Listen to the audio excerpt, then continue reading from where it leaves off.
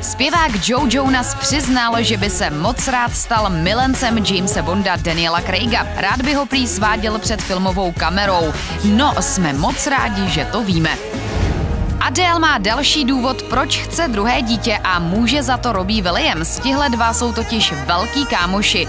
A protože Adele a její syn Angelo vidí, jak to u Williamsů v rodině se dvěma dětmi skvěle funguje, zatoužili i u Adele doma po dalším přírůstku do rodiny.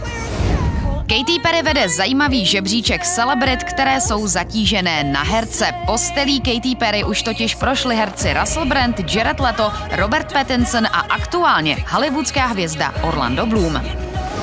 A máme tady scénář jak z romantické komedie. Zpěvák Tom Odell se přiznal, že zdrhnul z nepovedeného rande oknem na záchodě. Vypadá to, že chlapec není úplně vychovaný gentleman.